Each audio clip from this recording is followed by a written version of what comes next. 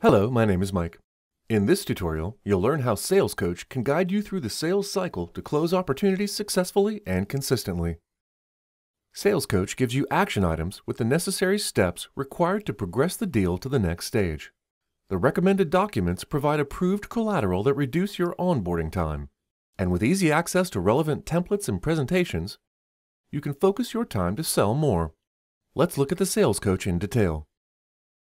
Action items are steps your company recommends that you follow in this sales stage to win the deal using industry best practices.